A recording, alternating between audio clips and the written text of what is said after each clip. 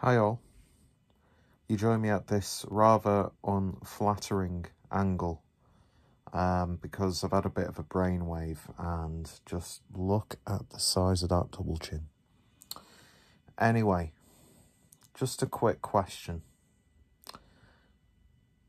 Well, starting off with a statement first, but I've been wanting to sort of uh, get film related content back on the channel or at least to create some film related content again.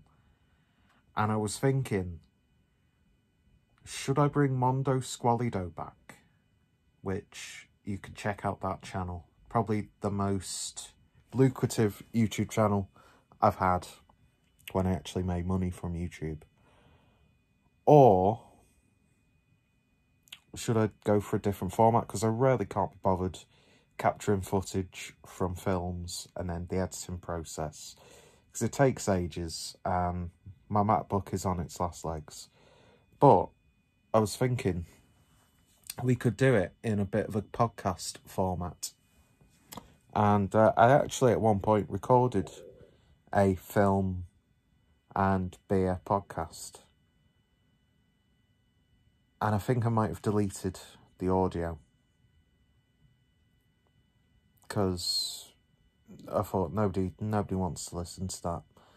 But uh, yeah, let me know what you think. Any suggestions, ideas?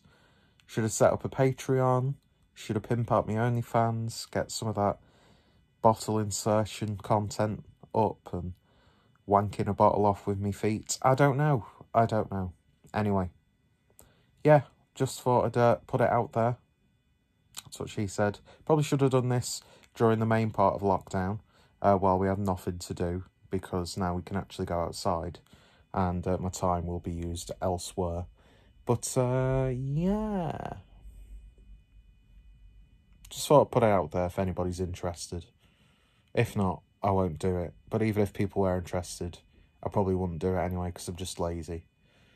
And um,